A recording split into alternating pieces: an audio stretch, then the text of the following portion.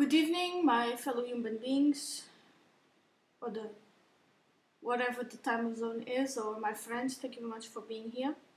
I have here um, a reading about the what is the standpoint of the divine feminine.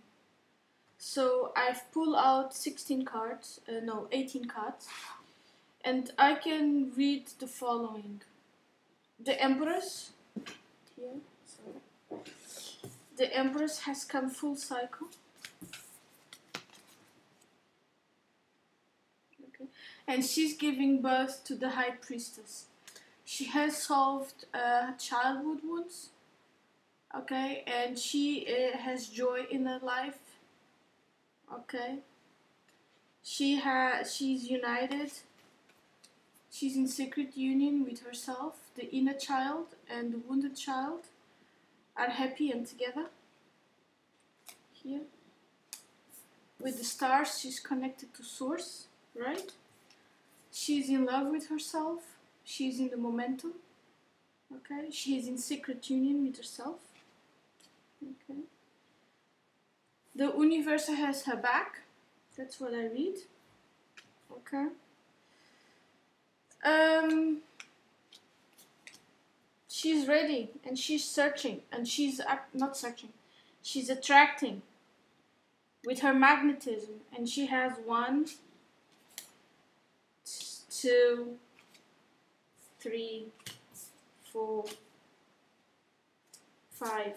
She has five offers. Okay? She has five offers.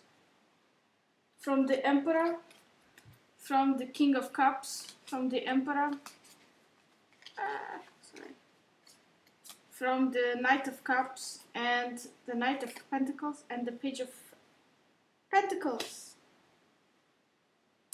And the Page of Wands, so six offers. But because she's negotiating from a, a position of power, like Jordan Peter says, that women only mate equally or above. She's waiting for the magician because she's going to become the the the high priestess. So she's being patiently waiting. Okay, she's using her magnetism to wait for the right offer. Okay, and this is what I call negotiation from a position of power. I will leave the links down below of all concepts that I've talked about. They are sources on the respective videos, okay? So, thank you. Um, I'm going to pull another card from this one to give a message to the divine feminine and the divine masculine. Okay, that's what the source want to tell us. Trust the niggle what is the niggling feeling trying to tell you? Okay listen to your listen to your gut and align your life. Okay?